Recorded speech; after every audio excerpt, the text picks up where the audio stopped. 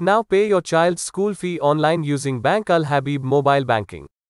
You will receive a notification via SMS and email including digital fee challan and unique one bill invoice ID. Use the payment link to view digital fee challan. Mobile users can click on the icon next to your one bill invoice ID to copy.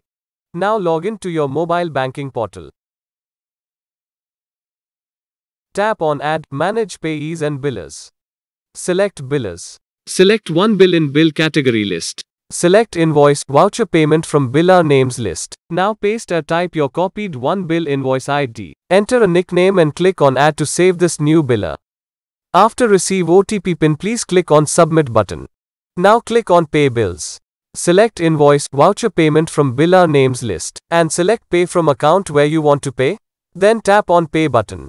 Now click on Confirm button to make payment successfully. You can access your digital payment receipt via your mobile picture gallery or your email. You can also pay through ATMs, e-wallets, mobile banking, internet banking and cash payments at TCS centers. Thank you. Have a nice day.